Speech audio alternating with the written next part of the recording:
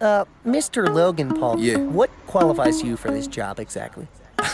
Do you really want to know? Well, yeah, that's why you're here, isn't it? Okay. Here's what I can do. I can ride your.